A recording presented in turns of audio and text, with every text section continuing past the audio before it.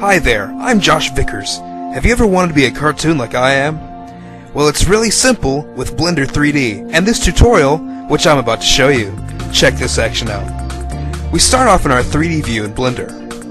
Now first of all, we need our model to be shaded, and it's me shaking my head back and forth.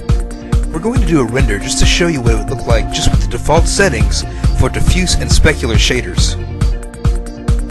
The first thing we're going to do is go to the Materials tab and change the CookTorr and Lambert shaders to the Toon setting.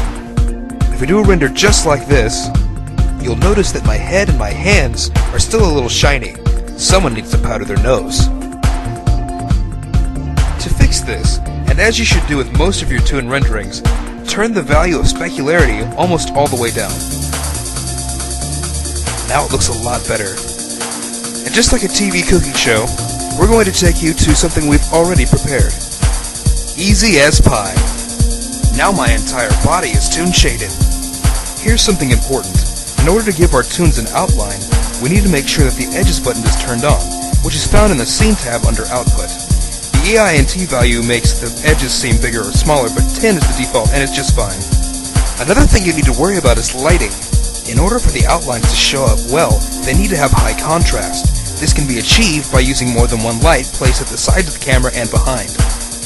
We want the outlines to be in stark contrast to the model so you can see them better, as this helps the toon effect.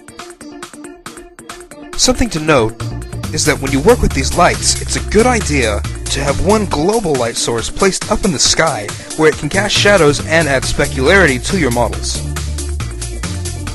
The other lights you have should probably be turned down and make sure that they don't cast any specularity.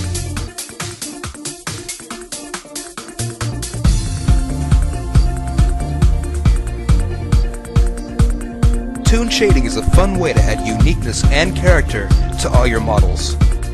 Happy animations!